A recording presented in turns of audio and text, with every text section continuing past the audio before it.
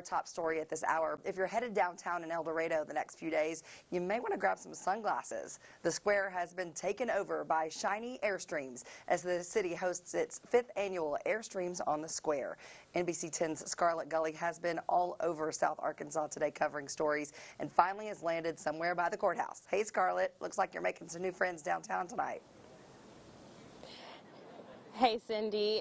Yeah, so I spoke to a few Airstreamers who say they've traveled from Texas, Tennessee, and Louisiana just to be here in El Dorado. Um, one Airstream owner says uh, that coming to El Dorado to, for this event on the square is his top favorite.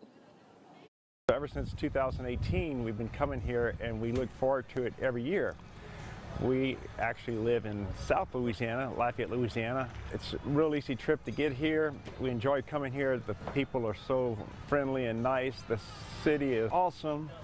Lots of beautiful shops and uh, also venues. We enjoy the music here, the festivals, and all the different events that y'all bring in for us to enjoy. This year marks the 91st year of Airstream. Hubbard says his aluminum camper has traveled all over the world. It's been from Key West to out in California, all the way up into Canada, across to Acadia National Park in Maine and back down. Main Street officials say they expect about 40 Airstreamers to be on the square for the weekend.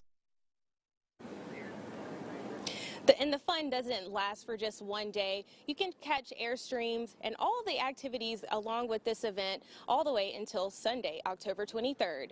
Reporting in downtown El Dorado for your ArkLaMiss news source, I'm Scarlett Gully. All right, thank you so much, Scarlett. Well, the